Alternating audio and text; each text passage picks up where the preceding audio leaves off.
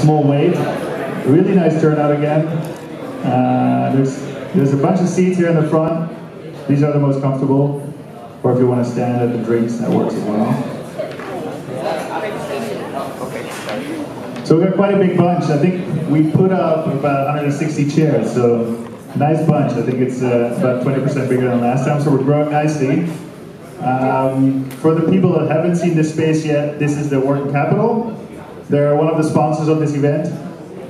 Uh, if you want to rent this space, you gotta talk to Paul over there with the cap, the guy that's waving, taking some pictures.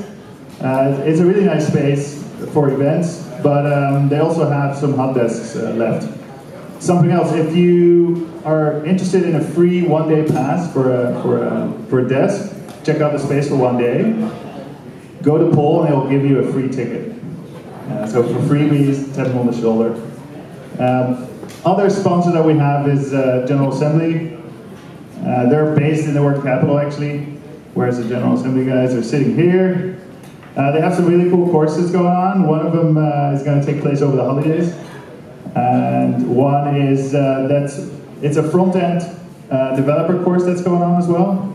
Um, in general, they have a lot of cool stuff going on. So if you're interested in in some cool courses, talk to the General Assembly guys they're paying the drinks, so I think we should uh, thank them for that, it's, which is really great. Um, I'm Peter from Pi, uh, the third sponsor of this event and organizer of this event. So the, the goal of this event, I always want to repeat for every event, uh, because as Pi founder and as, as, a company here that is very product focused, this sort of um, th product thinking and user thinking as a company, when we just arrived here in Singapore and set up, it's something that we didn't see enough and we wanted to sort of evangelize. Uh, so this crazy focus, obsession with product, right? With product management, um, iterative, uh, agile, all of the above, very, very design focused. That's something that we felt as a company wasn't, uh, it wasn't very clear for a lot of people what that was and what companies that work this way are all about. Uh, that's why we're organizing this event. So it's basically to blend in with product makers and, and meet up people that are super passionate about building great products, right?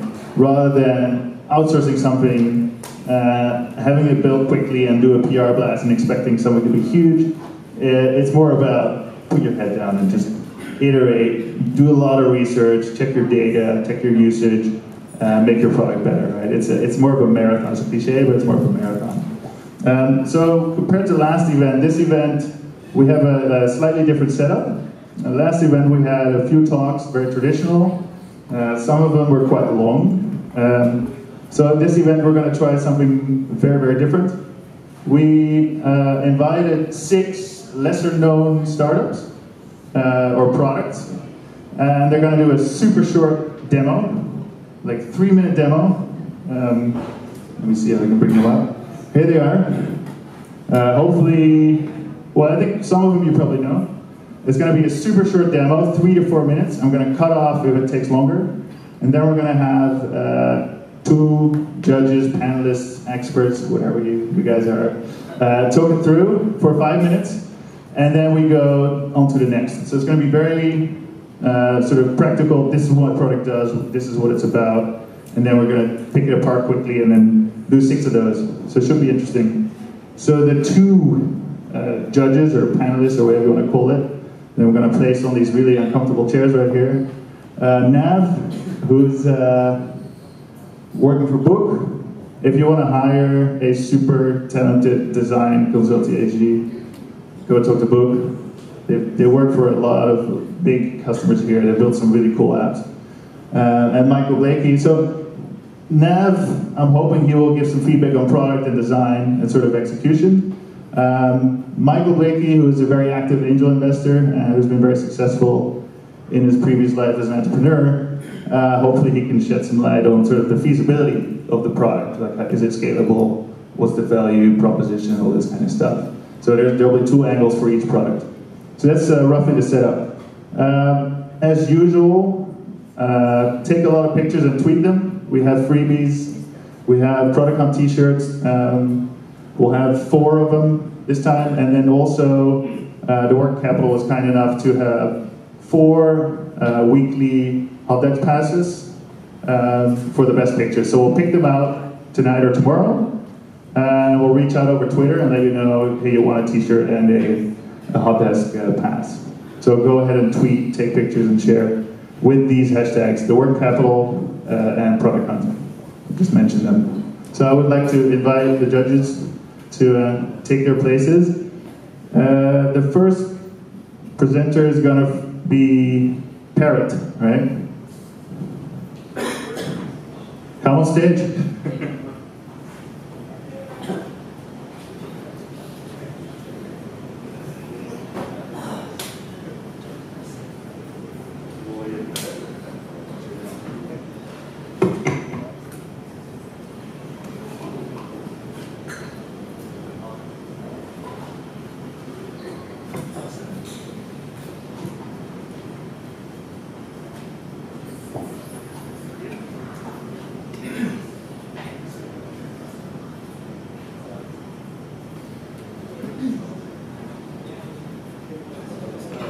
Hey guys. Try to full screen. There you go. Hey guys, um, uh, really So um, my name is Jackie. I'm from uh, Parrot, also from Vulcan Post uh, with digital lifestyle publications. But today, uh, we'd like to introduce you to Parrot, right?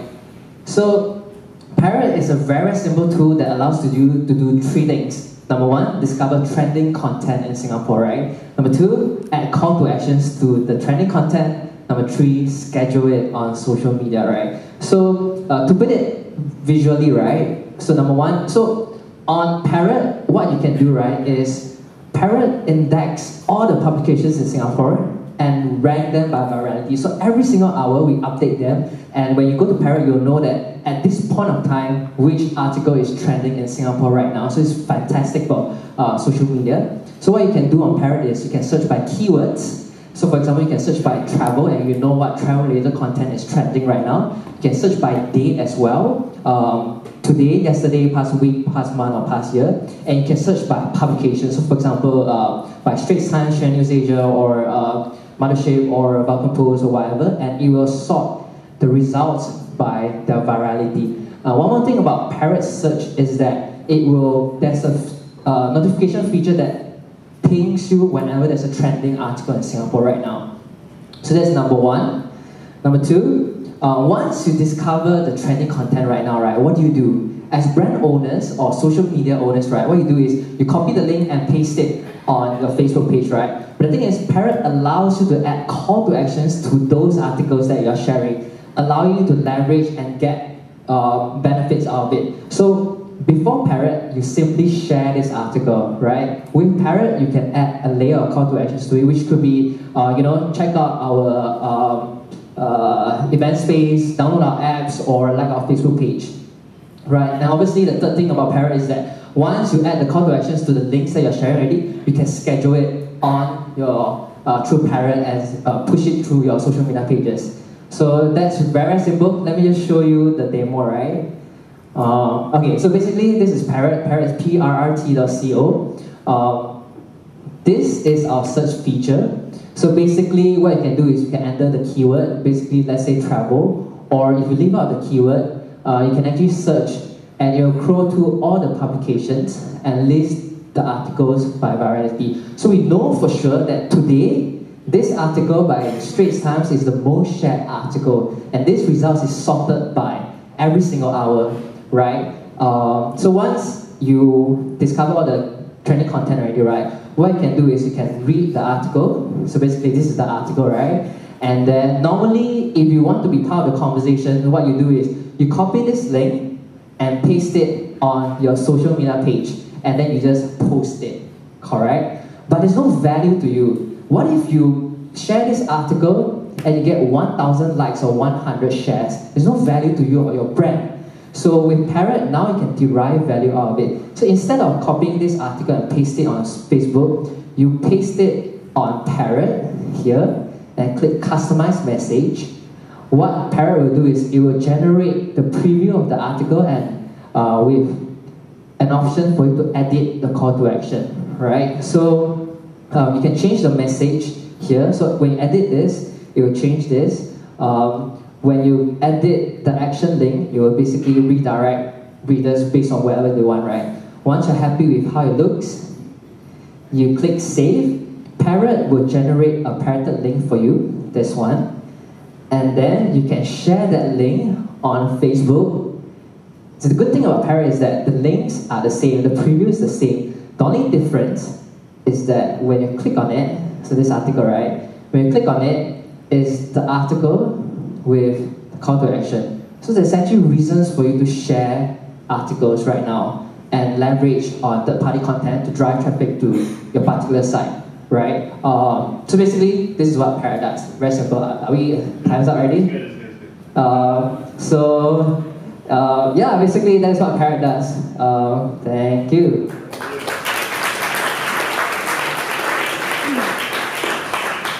Questions from the panel expert.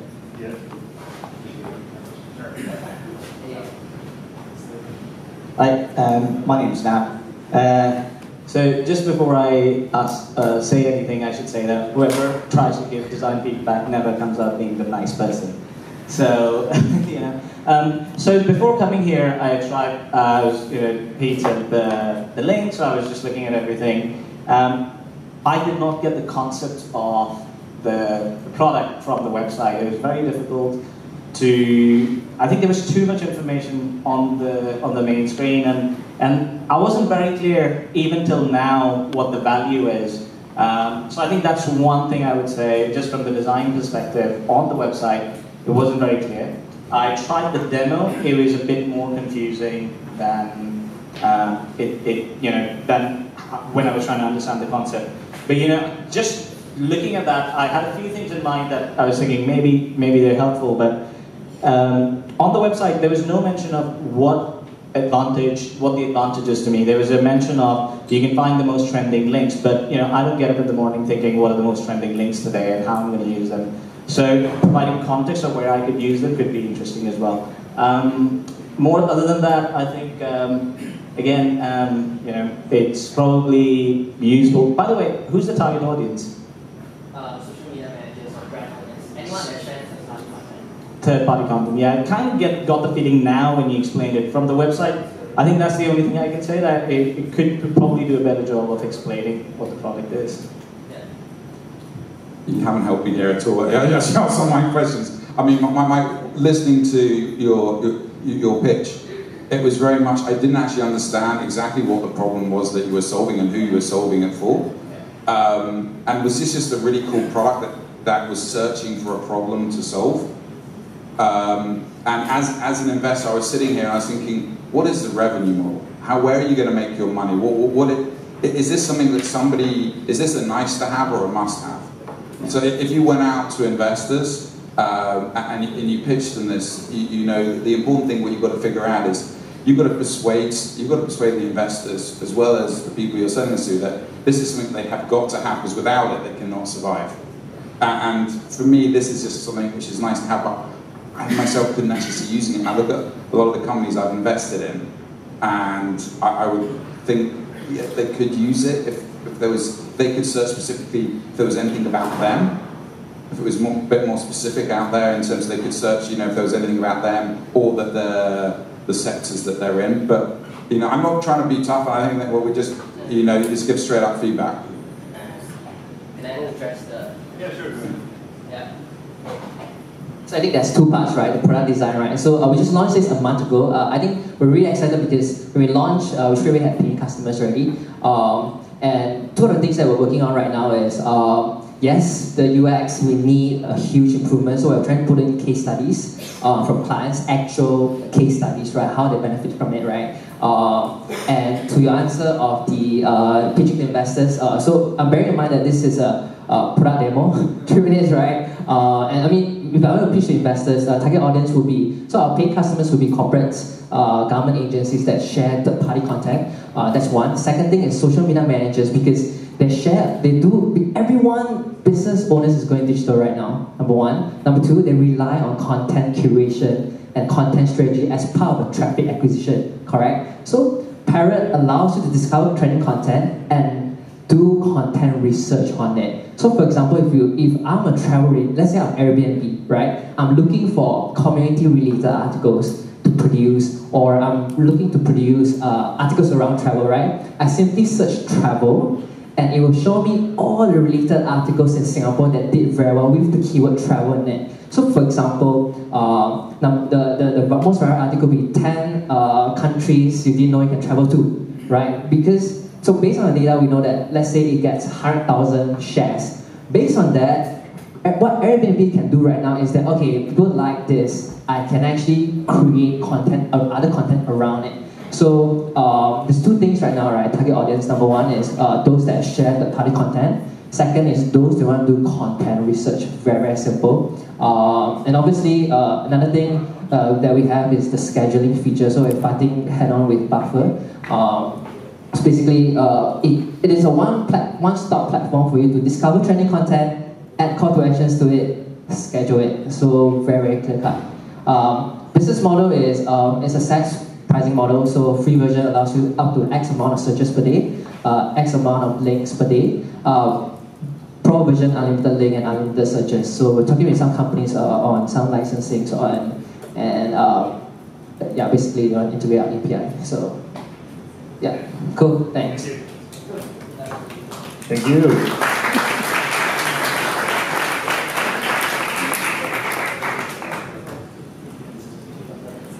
So second product is Lively, uh, which is from a team, Tiny Whale, from a team Tiny Whale.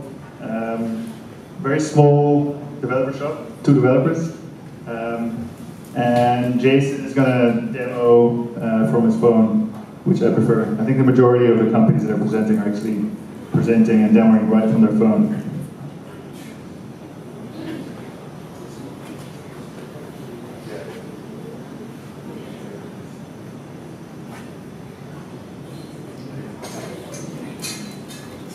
Okay, uh, hello guys. Uh, I'm Jason. I'm from a company called Tiny World. We make uh, iOS apps, and this is one of our latest apps. Uh, the app is very, very simple and straightforward. Uh, it converts live photo on the iPhone 6s and 6s Plus to a GIF or movie so that you can share them with other platforms, uh, either Android or Windows Phone or the web. So uh, for those for people who don't have an iPhone 6s, I'm going to talk a bit about the live photo.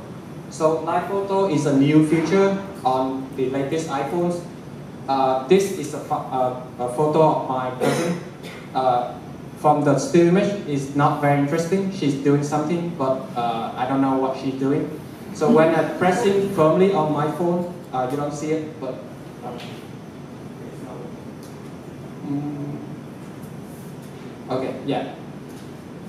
So basically, the, the camera on the iPhone 6s capture uh, about 1.5 seconds of movie before and after. So what you ended up with uh, a live photo is a, a, normal photo and 3 seconds of movie. Um, the thing is, being Apple, they don't let you share this content outside yeah, iOS and, and Macintosh. So uh, if you want to share this with other device, uh, you can use Lively to convert the movie to GIF and then share it. Uh, let me show you there. Is so when you open it, you see a grid of photos, which is all the live photo, and you can go into one of them.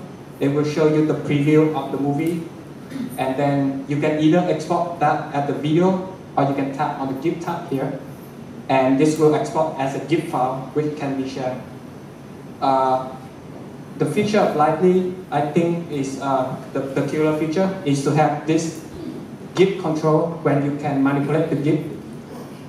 Uh, you can speed up to like 2.0 and it go really fast and you can make it go backward or you can make her go to the back and then go back, make the GIF look seamlessly instead of going from the front to the back and front to the back. And yeah, so it's very simple. Uh, that's it.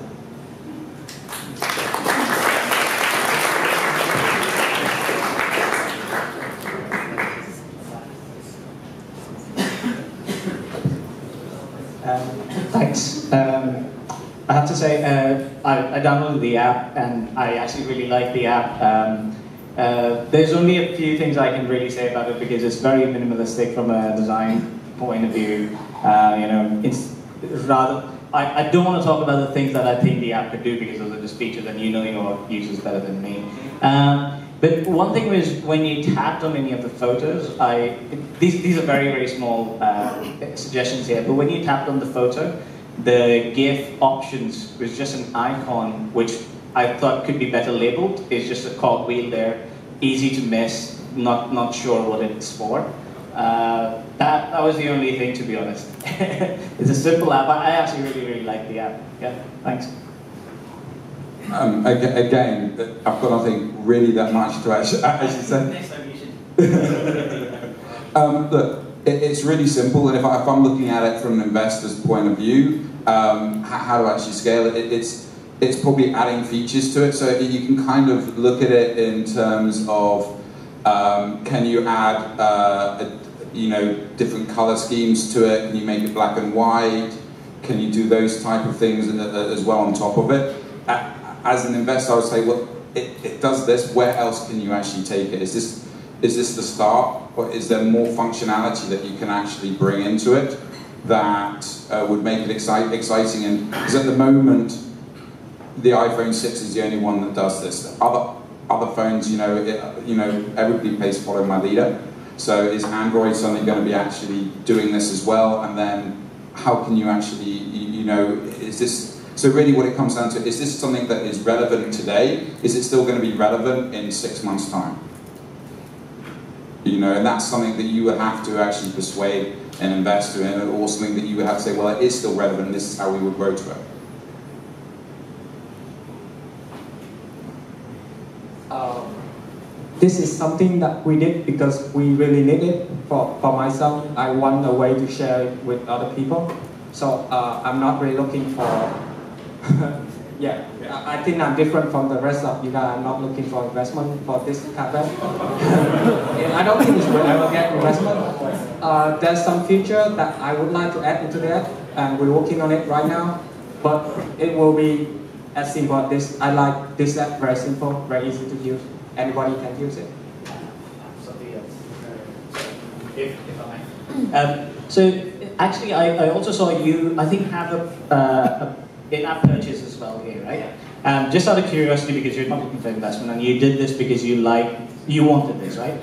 So what's your goal with the in-app purchase there? Like, could you could you say you just added it there just to see if you can earn money, or do you have any kind of goal in your mind about that ultimately? Uh, yeah, I mean, um, I think the best product is one you make for yourself and you have a real need for it, so you know exactly what will make sense. Um, I add the net purchase because I think that this seriously could make money, uh, even though it does for me and my my co-founder, but I think it could make money. And uh, uh, for those you guys didn't know, uh, the app only lets you use to export for three times before it asks you for 199 purchase. So you get free to uh, preview it, but if you want to export it to share, you need to pay 199 after three use. And uh, I think free to use for this kind of app is uh, it makes perfect sense because there's uh, already a million of, of this kind of app on the App Store, and being free, uh, I think have a lot with the discovery, so people is more willing to download it uh, rather than a paid app. That's why I went with the app purchase. Uh, uh, I said I didn't have anything to say about this, one. um, in, I also saw in your settings, uh, this is again just from a design perspective, I'm curious really. In your settings you had some tutorials about how you can use extensions along with the app. Yeah. Right? But when I downloaded it and I played, I, I was playing around with it, I was never told about that anywhere. It's only in the settings that I, like, I, if I wasn't exploring, I wouldn't have found it. So is that intentional as well, or is there like after a certain period of time, people are told, hey, you've been using this app, you know what, you can use extensions as well? Uh, yes, exactly. So after about uh, five or six times you open the app, it's gonna pop up say, this comes with extension, do you want to use it? Uh, I'm gonna show you the extension and what to, because uh, I want to keep it short and don't want to waste time. So you can select, you can select uh, a lot of photo and with one click you can export them all to GIF instead of going through one by one. And what you ended up with is uh, 6 gig here. Uh, in the photo app doesn't play, but if you share it with somebody, uh, let's say on Facebook, this my co-founder. It takes a while because the GIF is big.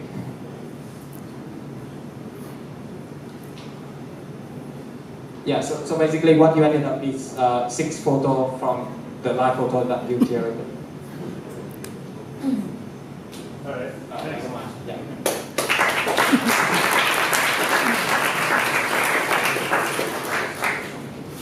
Uh, the next up is Genie. Where's Adrian? She's in the room. So Genie's really cool. It's a, it's a space that I'm quite passionate about, um, which is uh, messaging slash AI slash sort of conversational commerce. Am I right? Okay. All right, good evening, everybody. So I'm Adrian. I run Genie in Asia Pacific. So what we do is a digital concierge. So let me get that out of the way. So that's me, Adrian. And we want to be the service layer over the world. So we don't take this trivially, trivially and uh, like what Peter said, we have uh, uh, conversation based on on demand everything pretty much, uh, concierge service. So if you've seen, uh, me, uh, what Magic and other concierge services does, uh, well, we take that and we want to place it on everything. We want to be a service layer, and we think that the service layer, what we're doing is the last piece of the tech value chain being able to deliver extremely good customer service to people who want to buy stuff. And for businesses to be able to deliver that pretty much instantly. So today, what you get when you go to any e-commerce, any uh, online site, website, you get pretty much unresponsive uh, request fulfillment or whatever you buy or whatever you want, it's pretty unresponsive. And in our view, the, the whole mobile commerce is pretty broken. What we want to do is to take what we built in Genie, a digital, online, conversation-based concierge service and place it on a business perspective, of course, we want to place that on every single business. If you have a business that's brick and mortar, you want to sell something, if you have a service product offering, but we can take what we have in Genie and put it on top of that. We're doing it already on a B2C front, and it's as simple as that, that we have an app that uh, we're on Facebook Messenger, we're on SMS. You can ask us for anything, and if it's physically possible and legal, we'll do it. And we do it pretty much instantly. And we can do that for businesses. We can take what we've done on a B2C front and attach it and put it as a layer on top of any SME.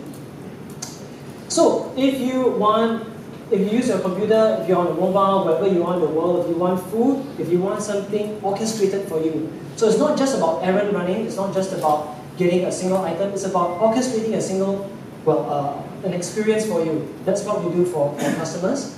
And we plug in businesses to that businesses that want to be able to access an on-demand reality, an on-demand economy, and we can plug you into that. All right, so let's let me jump into a demo, and this is Genie, and uh, it's spelled a bit weird. It's D J E N E. If, if you're wondering, it's not uh, pronounced Genie. Uh, it's Genie, and uh, okay. So make a wish. We send you an offer. You make a payment and that's it. So how easy is it to do? Tap on the wish and I'll just go for a dinner for Adrian's party. I send a message and within five minutes we get a response back to you with an offer and you hit a payment button. With that payment, you confirm your order and we'll get it to you. So in this case, we're partnered with another company who does express delivery and we can get you your char kway teow in about 90 minutes, anywhere, anywhere in Singapore. All right, so jumping right back. So, and today actually, and I don't know how we are for time, but I'm, I'm just announcing actually that we're launching a brand new product that's an offshoot of Genie, which is Executive, a dedicated Genie just for you. So on the B2C front, if you need a personal assistant to replace 24-7 uh, your personal assistant as a boss or as a team, you can attach Genie to your team to run errands and to execute things for you. All right, and that's it. Simple as that. That's Genie. Thank you.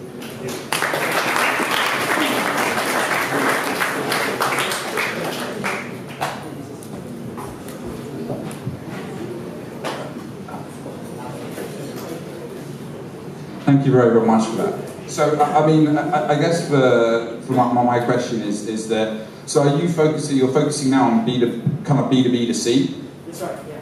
You, you know, um, so what is your route to market? How, who, how are you actually getting to, you know, you've got, you've got a product, so how do you actually get out to market? What, what's your thinking on that? So uh, a lot of what we're doing in the past three, uh, few months that we've been operating in Singapore is to actually go to businesses and activate their user base. So a lot of businesses with uh, customers or uh, with actual users want to monetize on top of that, uh, we, we provide them that layer. So it's pretty much B2B for now, and, uh, but in the meantime, we're also rolling out B2C campaigns that are trickling out in the market. So it's on two fronts really, but it's primarily, if, if I had to choose a primary focus, it's B2B first.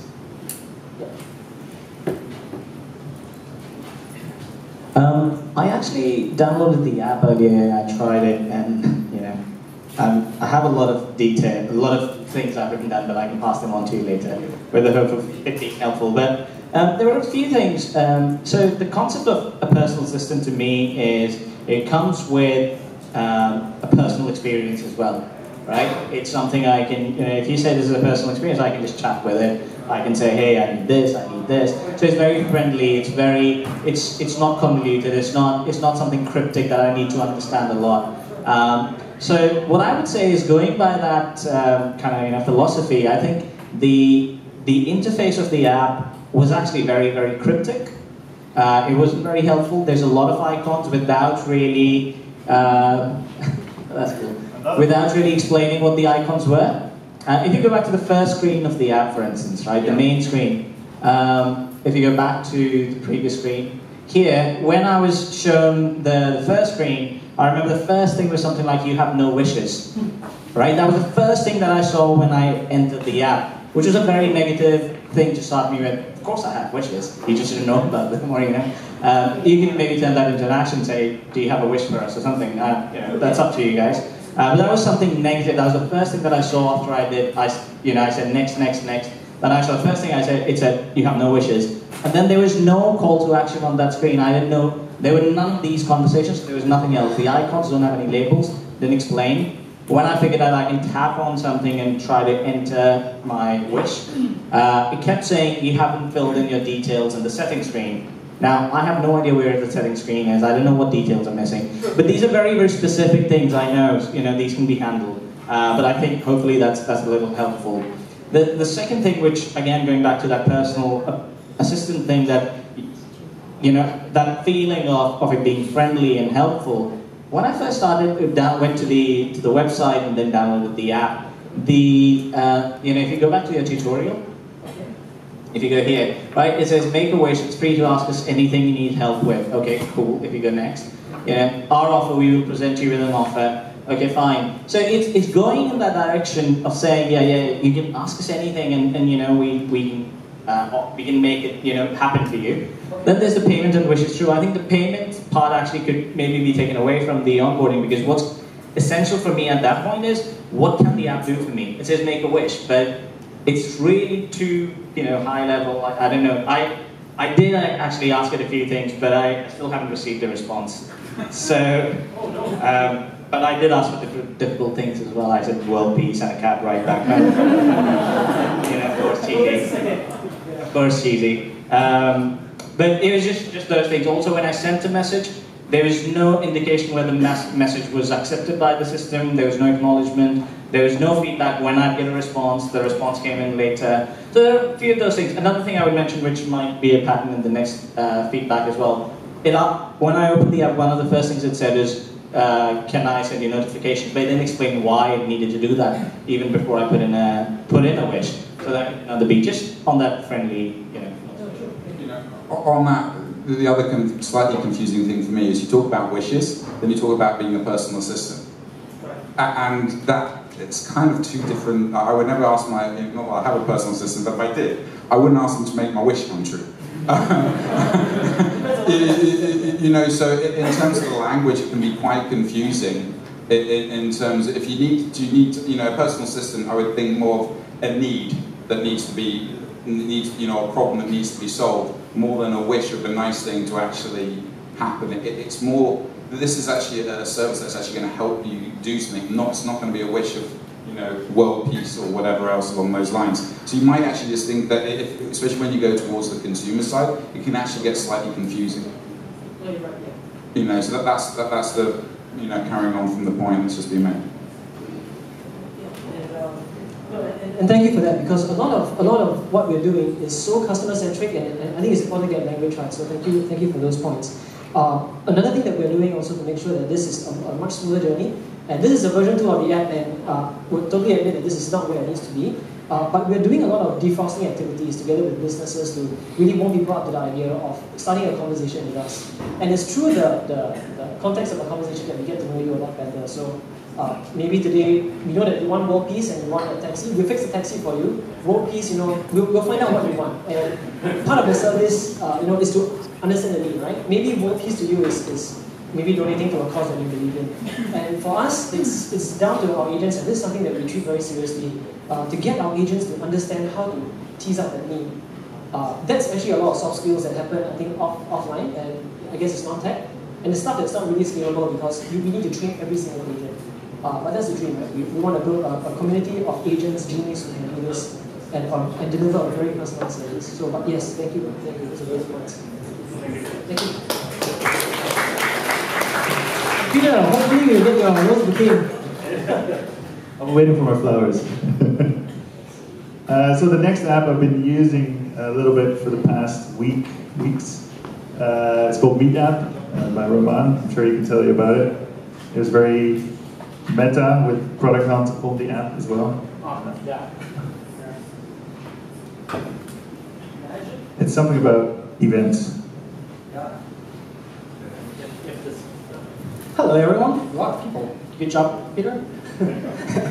yeah. Uh, so uh, Meetup is uh, basically a simple way to um, search events around you and follow where your friends are going or influencers that you care about, which events they're going to. Uh, so let's get to the app itself. Um, there, there. Right. So uh, it's pretty simple. So um, right away we can see the following screen, uh, the events that are happening around me, and um, where my friends are going to. Uh, so product hunt, unsurprisingly, a lot of people going there. Uh, CSS Conf, Michael, a lot of parties, events, um. Yeah, so uh, you can follow, sort them by um, start time, by popularity. A lot of people going to Geekbrunch. Um, yeah, obviously. Um, yeah, event tail. Um, uh, you can uh, search events. Uh, we have them classified based on different categories. We do that automatically, and we, uh, it's not only Facebook events, if anyone would think that, uh, we use basically every single event everywhere, like every event, uh, every. Um, you can search for things, let's search, for example, for um, product hunt, surprise. product hunt, oh, obviously. So, um, yeah, we can see who's going there. Mm, we have familiar faces there. Um, get directions to the location. Oh, is a bit by car, pretty interesting. Uh, okay. Um, you can as well um, create events, whether public or private, so you can uh, create like a public meetup next time, uh, or you can have a private dinner with your friends and send a personal invite. Um, yeah, basically that's it. Thanks.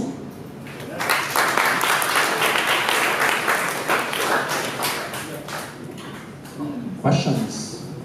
Questions? Yep, give it a try, download.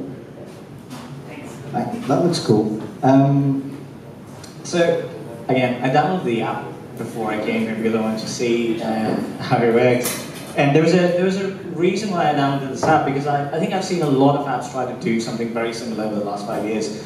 Uh, in Singapore, if anyone's been around here for five, the last five years, you've probably seen a bunch of companies from Singapore. Some companies really tried to be big and then it didn't go anywhere. I won't take names. Um, but good products though, uh, you know, good good tries. So, so I was curious if it would work, right? And uh, but that's that was my intent. You know, I said, okay, I'm going to download the app. Uh, just purely again from a design perspective, I thought the the onboarding was quite confusing. I thought it didn't really tell me anything before. The first thing I saw was enter your phone number. With that, before anything else, it was a keypad with phone number. So you know, without really telling me why you need my phone number, it asked me that. So was, usually I wouldn't do that, um, and you would, I think, uh, if you look at you know apps out there, you would see a drop in retent- uh, users signing up there. And after I did that, I had to wait a bit, put in my phone number, and then it asked me to sign up with Facebook. So I said, wait, I already gave you my phone number. I thought I signed up. Then with Facebook and so on, I went in. So one thing was it. The app actually didn't make it clear at all what it was about. It didn't tell me what I was going to do once I was in. The onboarding didn't make it clear at all. Um, once I was in, um, there were a few things I think a bit more detailed. Maybe I can give you that feedback later. For instance, the first screen I was shown once I signed up, look, I I saw Product Hunt there. I saw a few other friends meetups there, and then when I signed up, they all disappeared. I didn't know how to find it at all. It was behind the find friends and such and such. So that was the interface feedback. But the other key thing was I'm still wondering why I would download this app and use it when all it's doing, to me, it seems like at least, it's doing is pulling in these events from Facebook. I've already got Facebook and it's already telling me about these events. Sometimes it can actually be noisy. Facebook can be noisy about, oh, my friends are going here, so why would I download this app? That's, you know, really my basic, uh, you know, question here. Yeah, do I answer that? Uh, so basically, um, one of the uh, ideas behind it is, in terms of the phone number, it's because we the initial idea was to make it really personal. One of the things that we noticed that a lot of people would use Google Calendar, for example, to schedule their work events, but not the personal events. And no one really creates like really casual, fast catch-ups over Facebook because the UI there for uh, event creation is pretty cumbersome, and everyone feels a lot of pressure to add like the cover picture to the event. And if they do not do that, they feel that it's like no way, no reason for me to create an event in Facebook, right? Um, so I do agree with you on the onboarding part. That's still to be proved. That's not the kind of core value proposition of the app. Uh, in terms of the value itself, is like even though you have quite a lot of events invites on Facebook, uh, you still like a lot of people that I talk to myself, we get like just swamped by like 20 invites a day to events, especially those who are younger, like those who are like in their college, there's who are going to parties, um, going to like social events, uh, networking, like a lot of invites, and you cannot figure out what's like which is important, what is not.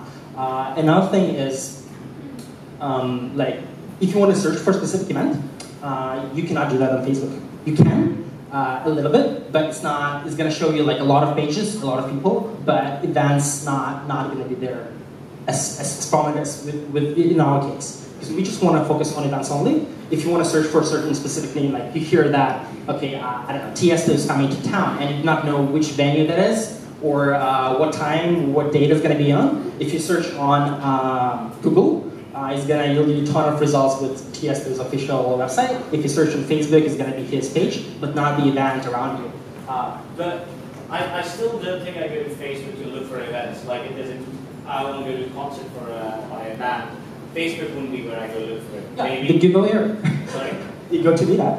You you can do that here. Yeah, yeah. Okay. It's like all events. It's, it's not only Facebook.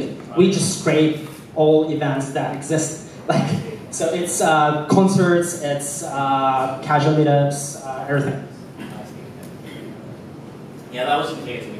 Okay. Uh, yeah. That's okay. Good to know. I mean, so in in regards to the product itself, I'm just sitting here thinking, okay, where can this, where, where can this be taken? You know, as you said, this is just a startup. So, uh, are you going to make it uh, possible? You know, because otherwise, I'm like, what is the business model behind this? Um, to actually then take it to the next level. So, if you're saying, well, you're, you're scraping all the details to get all these events, there's no point for a lot of them just being able to see what the events are. Are you then going to be allowing people to actually buy the tickets straight from your app? Eventually. You know, is that is that where you're thinking you're, you're going to go on it? Because otherwise, I'm, I'm thinking here, what, what's the point really? It- It's a nice to have.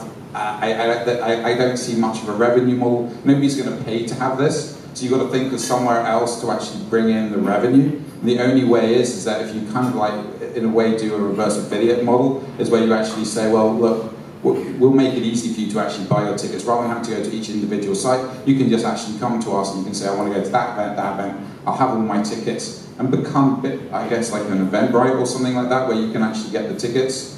It- otherwise, it becomes a bit messy. I, I don't. I, I just see it as a kind of a one-trick pony, and I just don't know where it's going to go next.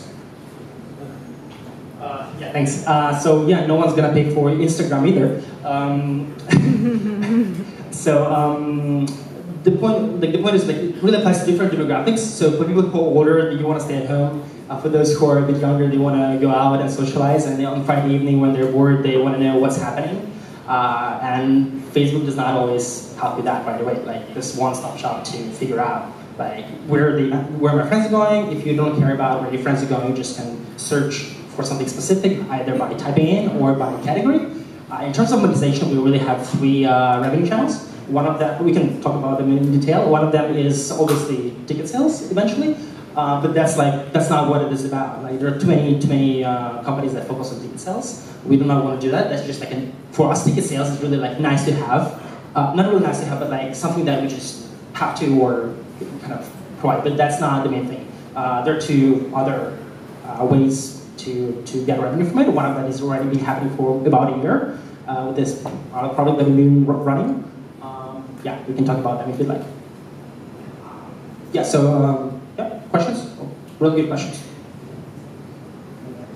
Yep, thanks so much. Thanks, Peter. Thanks again.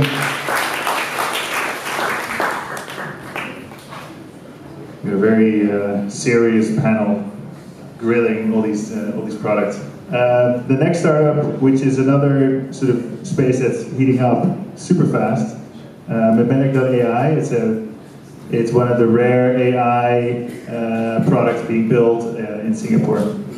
If it isn't the only one, I think.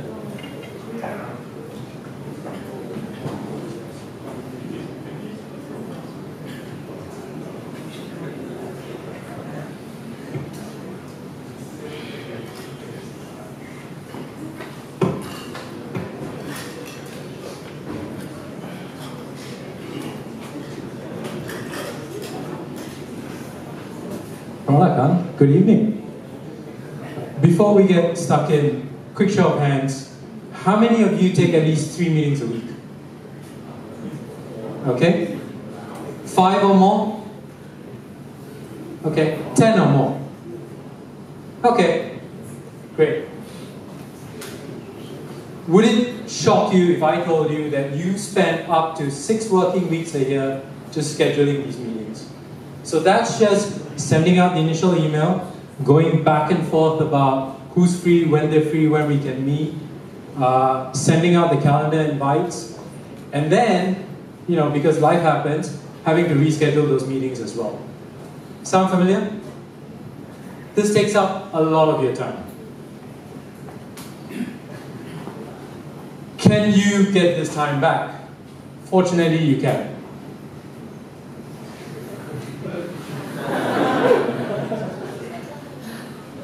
We're Memetic, and we've created an AI, we've built an AI personal assistant. How does it work? You send an email as you normally would to the guys that you want to meet. Peter, let's meet up next week. And then you copy your assistant, who is just an email address, and you say, Evie, who's our assistant, can you find a time for Peter and I to meet? And then Evie contacts Peter and says, Peter, Pravin's free, couple of time slots next week. Do any of these work for you? And then Evie goes through the process of negotiating with Peter, coming to a common time slot, and then automatically updating my calendar and sending out the calendar invites to Peter. So that's just one email that I've sent, and I'm not involved in everything else that happens after that. That goes on between my assistant Evie and Peter. I know what you're thinking, right? You're thinking, great. but here's how we're different. Evie is not an email plugin. Evie is not a whiteboard that tells people these are the times that you're free, pick a slot. Evie reads and writes emails. Evie understands what you're saying at a very deep semantic level. Evie interacts with me and everybody else who I interact with like a real person. In fact, if you don't tell them, funny story. When I reached out to Peter a month ago to meet up, I copied Evie, and then when I and, and then you know we got the meeting set up. Peter thought, how posh are these guys? They're a startup and they have secretaries to set up the meetings. So if you don't tell anyone that Evie is a machine, they shouldn't be able to tell either. And best of all, it's an app-free experience. You don't have to download anything. Evie is just an email address. The freemium version for you to kick around and play with is Evie at Memetic.ai, but the paid version is really Uh, it can be anything you want. It can be Michael at pi.co. Or it, it can be any assistant name at your domain. So then, for you, what does that mean? That means no more going back and forth with people trying to figure out time slots. And if, as we all have friends, don't respond to emails, you don't have to keep track of that because Evie will follow up and chase them down for a response. And finally, Evie learns your preferences over time. So if we notice that your uh, patterns in your calendar, like no meetings, you tend not to have meetings before 10 a.m. or nothing after 5 p.m. or 6 p.m., then Evie will uh, schedule within those parameters. So that's us. Uh, we're in private beta right now, so you can try signing up at uh, Memetic.ai. Uh, we'd love it if you use it, abuse it, and, but also give us feedback on what you think is working, what is not working, so that we'll respond. We're a small team, so we will definitely respond.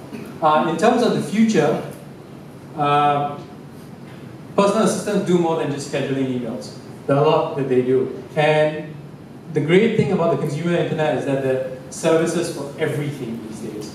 Anything you want, you can find a service to do it for you. But that, unfortunately, that also leaves you feeling a little bit like this guy. so don't you just love it when it's raining outside and you need a cab and you fire your ComfortDelGro app and it crashes because of the server load? So then you go to Uber and there's a 4x surge pricing. and then you go to Grab Taxi and they show you all the cab drivers in the area who won't take your booking. so I think the future is about me just telling the machine what I want done and the machine figuring out the best way to get it done. So we've got some fun things planned for next year. Stay tuned. Thank you.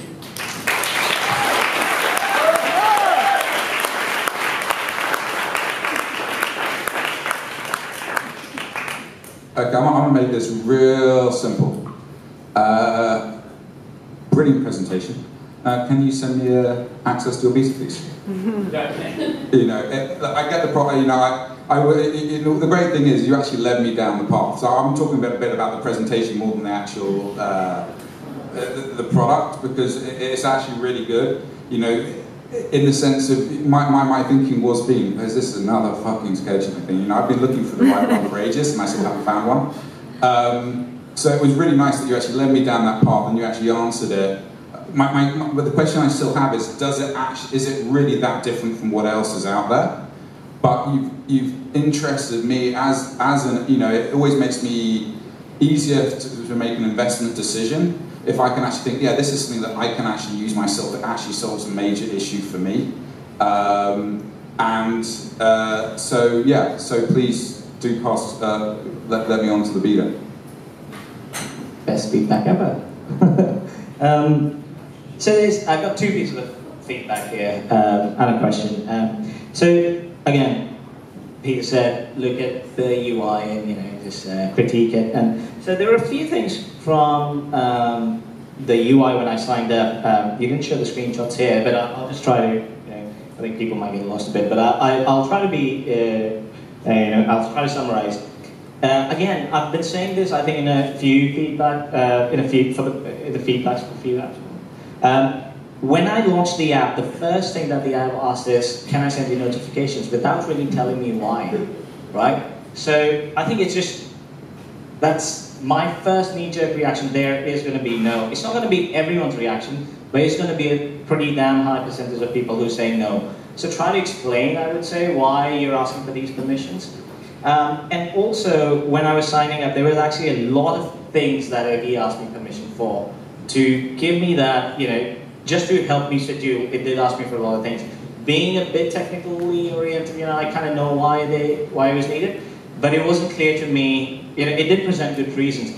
But the, the most crucial thing, the most interesting thing to me here is when it did try to explain it, actually made me more paranoid with the explanation because it was very technical and it said, I'm going to store your information on my server and that was it, kind of like, you know, something there. So I was like, well, that's exactly what I don't want you to do, right? So it is, it's very specific, it's very specific to the UI, which can be changed easily. Um, but that was, that was my experience when I was signing up.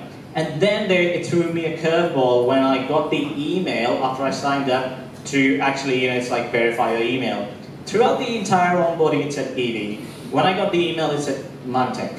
So I was like, why is Mimtek sending me email? Evie just said, I'm going to take your data, store it on the server. I'm getting an email from a completely different company. That's the first experience I had. So it was really, really not good. You know, even though I was like, I'm going to go ahead, but it really pissed me off at that. But again, small things that can be fixed easily, right?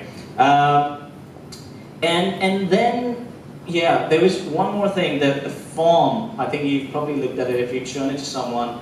It's the one form that I've seen that, that really blew me away. Uh, because it had it asked me for my name, middle name, family name, but prefix and suffix. We're trying to make the forms smaller.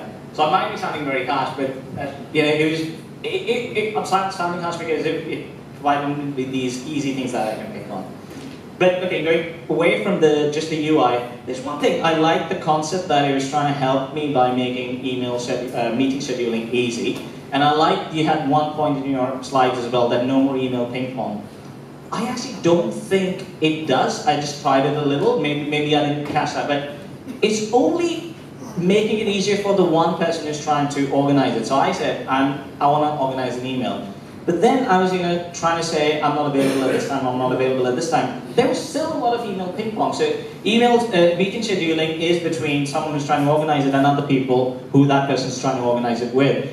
It maybe made that me sending an email easy, but I think it, it annoyed everyone else on the other side because it kept going back and forth, back and forth, back and forth, right? So if I don't create a problem for everybody else, how would I make money? so you've got the app, your life's simple. Yeah. You send one email and it's taken care of. If they, those guys want as simple an existence, they should uh, they should subscribe to the service as well, because then their systems would just talk to each other and figure it out. I don't think that's how selling works. You make clear the problem to me and then ask to pay for it, but resolve it. Really? Okay. okay. Well, that's me. Okay. Well, thank you. So on your uh, UI feedback, Good news is we're deprecating the app. We want the technology to disappear. It just needs to be like yeah, you had a secretary. Yeah. yeah. So that was a little bit clumsy, fully understood, but we're deprecating that and we're moving towards not having an application, just email, copy your system like you would a human secretary, and have it sorted out. Yeah. Thank you.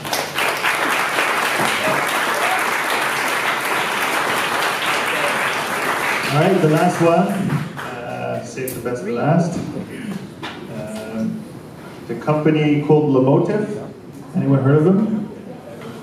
Seem to have quite a bit of traction. Secretly, they're very humble. I met the founder, Paul, who is currently in the Valley, uh, a couple of weeks ago. Uh, and I was intrigued because it was a product I really hadn't heard about that much. Uh, and it's a team that has been cracking at it for quite a while, iterating on the product uh, being very passionate about the space, and they seem to do really well. So, um, yeah, come on up and show us what you're working on.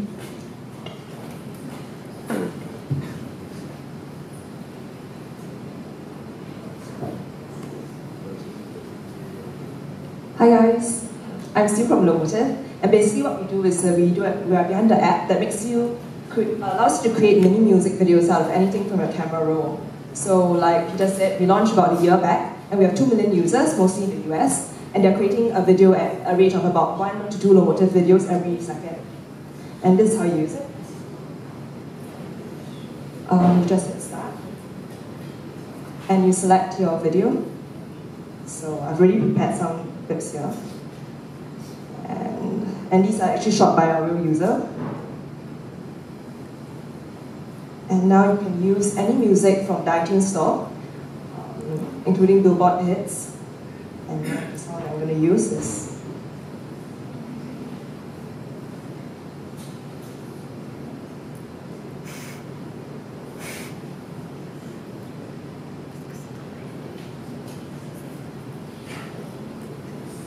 Okay, preview a song and use it. And what Lomotif does is that it actually merges it into a mini music video based on a magical algorithm that paces your clips to music. And it's not exactly like one every second, but it's actually paced as if it's edited by professional know that you know why we're not the first. Okay, so that's what we have. Um, you can also do some things like uh, change the format, resize, sorry, it's a bit hard to navigate all. I know that you know why we're not the first. And you can shuffle your videos like this, so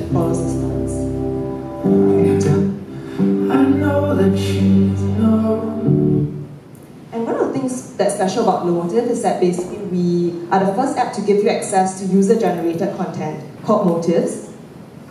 And this is uh, our beta. And so how a user might add motives to a video is that uh, if she's telling a story about autumn, she can actually add nice scenic shots. Um, so I'll just pick, like the story is a lot about leaves and, and all this. So.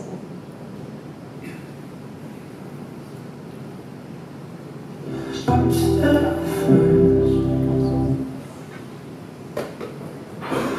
know that you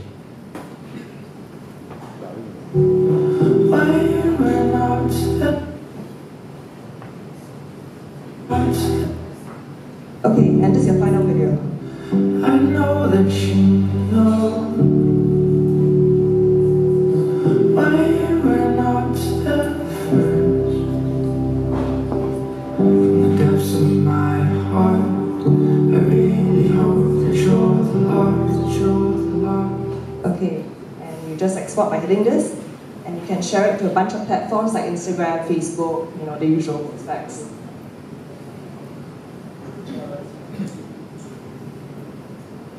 Yep, and that's about it.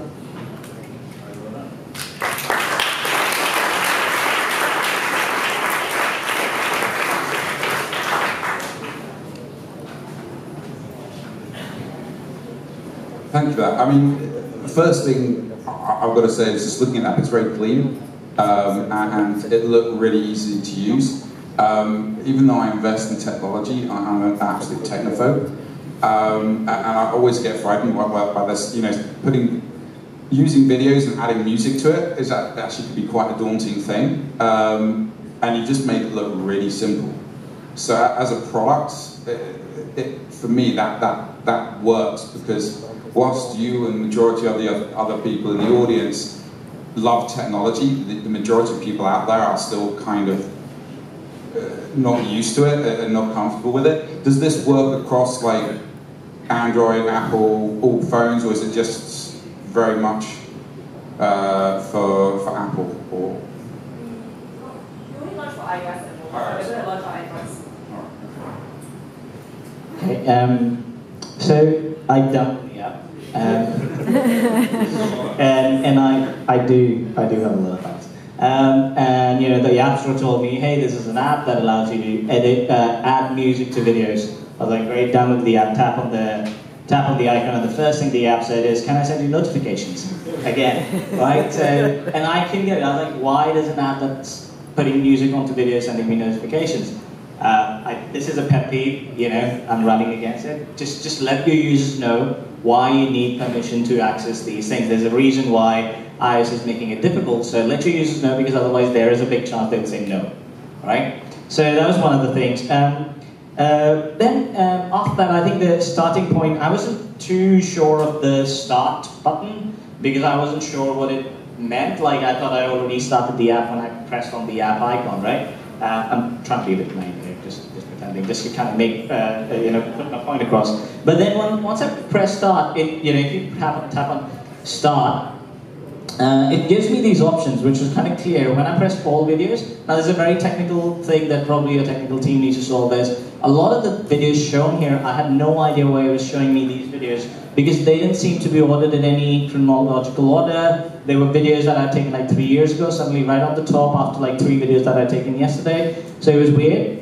And also because some of them were really old videos, I tapped on them and nothing, the app just didn't work because probably they hadn't been synced down from iCloud because I'd switched on, you know, save space on my phone. Um, so my first experience was it just didn't work, and the app didn't tell me what was going on. It was just a blank video. Eventually, I figured out, okay, I need to do this, this, this. You know. Uh, now, the second thing that Michael pointed out there was actually very easy. Once you selected the videos, you went to the second next screen.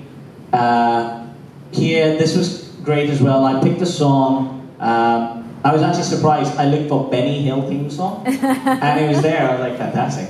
So when I went to the, so just a small thing here at the top right, you've been leading all the screens in the top right is proceed by tapping on the top right in a bunch of the screens. Here it was suddenly it would cancel everything that I was doing. So I wasn't looking at it and I tapped and I was like, wait a minute, that's not how it is.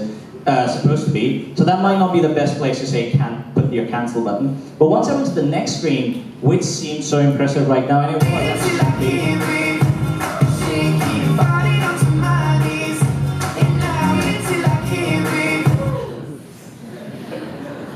that was that was entertaining. So the next screen actually really threw me off because I wrote down in my notes that the the editing screen seems overloaded and, and seems like there's a lot of things going on there. I think once you know what you're doing, it's easy to, to do things on that screen. But when I first went there, it was just a lot of things, a lot of controls. There was filters up there, but there was a button at the bottom saying filters on or off. So there was a lot of things going on there. There was coach screens, coach marks. You know, when, I, when you first come to that screen, there's a little tutorial tells you you can do this, you can do this, you can do this, you can do this. I just said skip. And because I said skip, every the interface was so cryptic, I, I didn't know you could drag things around. So I would actually say, get rid of the coach marks if you can. Tell people what they can do when you think they will need to. Don't give me, here's the complicated interface and here's 10 things you can do with it. I'm not going to remember any of those. Just let me get me let, get me into the interface. You know, just, just drop me somewhere where there's simple things I can do, and as I go along the path, make it explain it more and you know add more things.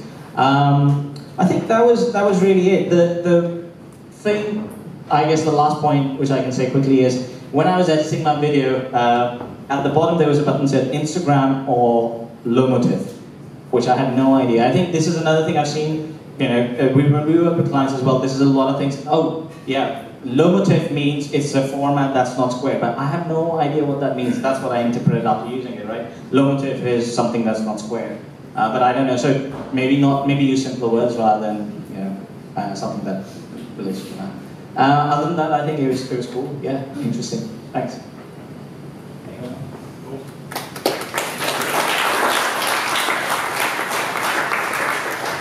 Designers are strict.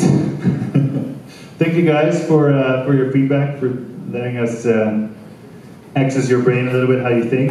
Uh, thanks to all the presenters for their amazing products. I think there's a all of them have a very very cool uh, space that they're operating in, a good opportunity. Um, and as usual, go and blend, meet up each other. And if you're looking for co-founders or product managers, there's a whole bunch here. Uh, there's a lot of usual suspects. There's a lot of new faces. If you have a cool product that you're working on, let me know. Uh, I can post you guys on Product Hunt if you're interested to get some extra traction. Um, and yeah, I hope to see you in two months for the next event. Thanks, guys.